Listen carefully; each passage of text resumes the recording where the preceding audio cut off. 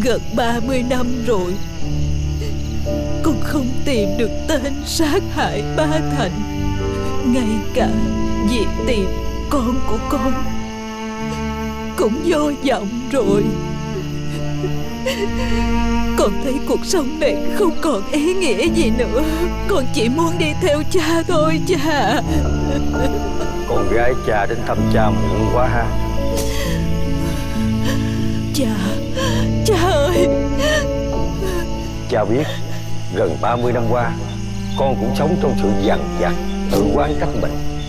Nhưng con không có lỗi con à Không đâu cha. Tội lỗi con nặng nề lắm. Con chỉ mong gặp lại thằng Chậm Để con lo lắng Và đền bù cho nó thôi.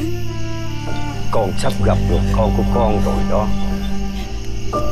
Cha nói sao con Con sắp gặp lại con con sao cha?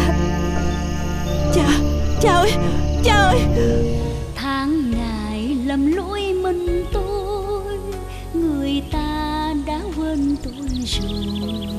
Những lời chót lưỡi đầu môi gieo sầu thương cho kiếp đơn côi. Kiếp này chẳng biết to cùng ai Xem trọn bộ trên ứng dụng THVLI